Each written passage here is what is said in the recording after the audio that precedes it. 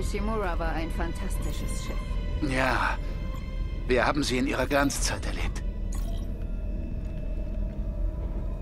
Gehen wir nach Hause, Isaac? Es gibt noch so viel zu tun. Bald. Versprochen.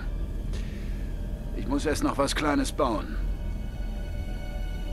Für mich? Was denn? Eine Überraschung, Schatz.